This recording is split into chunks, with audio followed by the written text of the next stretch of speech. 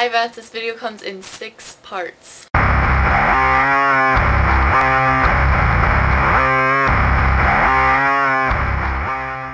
Number one, you. Hi Uh-oh, Beth, guess little what?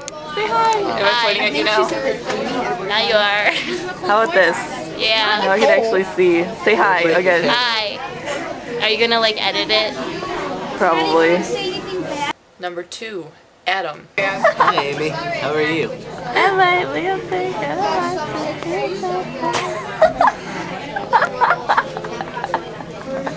Hey look, it's Adam. Ah. Can't tell if we're recording or not. Number three, Rupert Grint and all things driving lessons. This is how John Kerry's frickin' speech at the amazing my best friend one was is. Great. Look at this. I think there are people who want seats that maybe we should go. Someone go up there. We want to pause the video and read this because it's funny. No.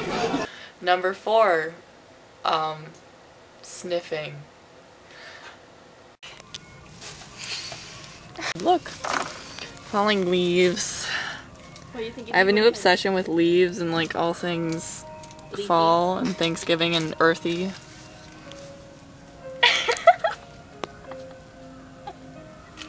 Number five, my dorm room. Okay, this is tour de room from Amy's chair because I don't feel like getting up.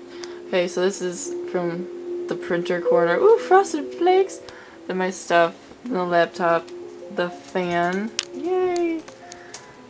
That's Gabrielle. Hey. And then it's my bed. And then the dresser. And look, Beth, you're over there in that picture. And then Gabrielle's bed. And the closet and the door out of the room. And our fridge and Gabrielle's locker. And then the bathroom behind that door. And yeah, that's all. And the phone that if you unplug, uh, you'll die. And look at my Twilight shelf. Yay! Stephenie Meyer. And then there's like Eragon and Eldest. What the heck, right? And then food. Yay! And tea. But but this is the best part. Ready, ready, ready, ready. This is my roommate's bookshelf. Look at that! Awesome! Yeah! She likes Twilight too. Number six, the mysterious ticking noise that makes me want to kill myself. This is my version of the mysterious ticking noise. What could it be? See, I almost wish it were a pipe bomb, but no. Blah! Too sexy for my shirt. Too sexy for my shirt. So sexy it hurts.